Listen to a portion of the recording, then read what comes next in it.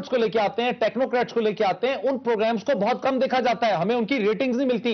लोग रेटिंग्स में political programme देखना चाहते हैं। हमारा भी तो ये मसला है ना एहसन साहब इसको भी तो एक समझिए। बात एक बात नहीं सर जी एहसन साहब। तो पॉलिटिकल पार्टीज़ को अकाउंटेबल होल्ड करें कि आप एजुकेशन के लिए क्या कर रहे हैं आप हेल्थ के लिए क्या कर रहे हैं। लेकिन जो जाली डिग्री का मामला है मैं उसमें आपके साथ मुतफिक हूँ कि अगर कोई बंदा ये करता है वो बहुत घिनौना जुर्म करता है और उसे बेनकाब होना चाहिए। अच्छा, मेरे साथ रुकी जी डॉक्टर साहब।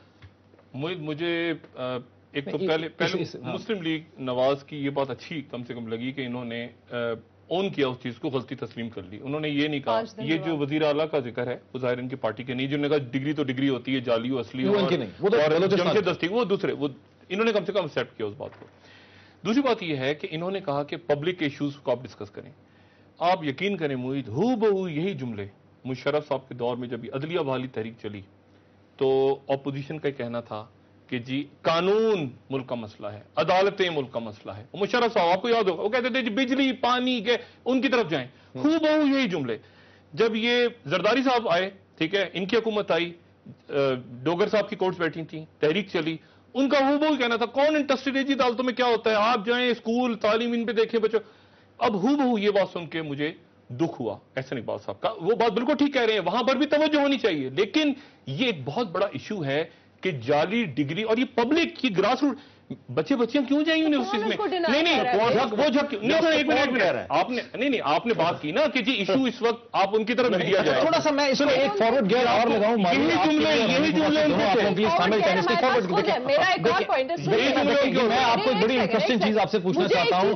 ये बैठे हैं पीटीवी के एक्स चेयरमैन हमारे साथ बैठे हैं एक्स एमडी एक्स चेयरमैन बैठे हैं। आप आप दोनों आप दोनों मतलब इंपॉर्टेंट पॉलिटिशियंस बैठे हैं। भाई आपको वैल्यूज़ एस्टेब्लिश करनी है अगर बड़े हाई लेवल की पब्लिक ब्रॉडकास्टर की तो पीटीवी को क्यों नहीं ठीक करते हैं आप लोग सबसे पहले जो कि टैक्स पेयर के पैसे लेता है जो बिजली के बिल के साथ उसके पैसे आप लोग लेते हैं हमारे पीछे क्यों पड़े हुए हैं? सबसे पहले उसको ठीक करें उसको रोल मॉडल के तौर पर उसको तो ठीक नहीं करते आप लोग। आप बताए ना हनीफ वाजी साहब। पॉलिटिशियन ने भी सीखा है और वो जवाब जमातें जो दो दो तीन तीन टाइम खत्म हो गए दो दो तीन तीन मतबा वजरा आज़म रहे हैं उन्होंने भी सीखा है। कि अब आप कंट्रोल मीडिया जो है वो किसी तरीके से नहीं कर सकते लेकिन कुछ ही। थ्रेट्स हैं जब कोई सच बोलने की कोशिश करता है चाहे आप मीडिया चाहे हम ऑपोजिशन तो थ्रेट्स आगे से आती हैं। उन थ्रेट्स को आप कैसे मैनेज करते हैं? उन थ्रेट्स को हम कैसे मैनेज करते हैं? बात सारी है पीटीवी या कोई पब्लिक सेक्टर जो है क्यों नहीं आगे उसी तरह से चल सकता क्योंकि जब हुकूमत इनकॉम्पिटेंट करप्ट होगी तो Consensus नहीं है। फिर नहीं फिर वो अपनी वालों का कोई consensus नहीं है। देखिए। बात सुनिए। जब हुकूमत सही ट्रैक पे मैं होगी आपको- तो एक हो बात जाएगा मैं आपको एक बात बताऊँ ये हनीफा बासी साहब के और एहसन इकबाल साहब के शायद इल्म में हो जब प्रेसिडेंशियल कैंपेन शुरू हुई तो एक फुटेज आई जिसमें सुप्रीम कोर्ट उस वक्त की जो थी 97 98 का जो वाकया था हमले की, कहा गया कि वो फुटेज चलाएँ जस्टिस सईदुजमा सिद्दीकी साहब और मुशाहिद साहब और इन सब के against I refuse I refuse कि ये पीटीवी पे नहीं चलेगी प्रोपेगेंडा और उस पर बड़ा झगड़ा हुआ। उस पर बड़ा झगड़ा हुआ कि आप क्यों नहीं चला रहे? मैंने कहा, जी आई ट्राइड कि मैंने कहा, जी, नहीं, यहाँ पर किसी एक पॉलिटिकल पार्टी को हम विक्टिमाइज नहीं करना चाहते। उसके फिर कॉन्सिक्वेंसेस क्या थे? वो लंबी कहानी है।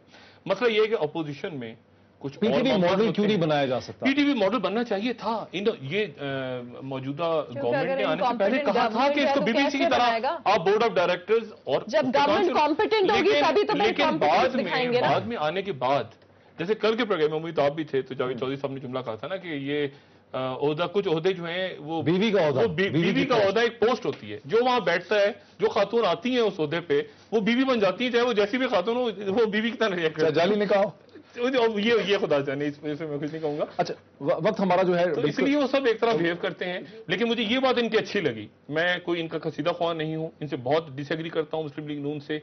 ये बहुत अच्छा लगा कि ये डट नहीं गए उस पर इन्होंने ये खड़े होकर नहीं कहा कि जी जमशेद दस्ती जीतेगा और डटेगा करेक्शन इन्होंने correction का process जो है वो शुरू किया शुरू की और तो hats off to PML on that issue ये इस बात वक्त हमारा बिल्कुल वक्त हमारा खत्म हो गया डॉक्टर शाहिद मसूद आपका मारवी मेमन साहिबा आपका हनीफ अब्बासी साहब आपका और एहसन इकबाल साहब का हमें फ़ोन पे ज्वाइन करने का बहुत शुक्रिया।